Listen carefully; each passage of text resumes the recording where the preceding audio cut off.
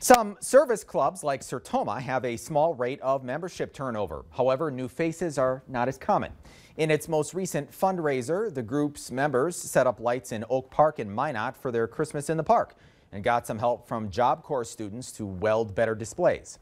Chair of Sertoma's board, Richard Berg, estimates after every invoice comes in, they would have raised $75,000, which is the highest outcome of the fundraiser.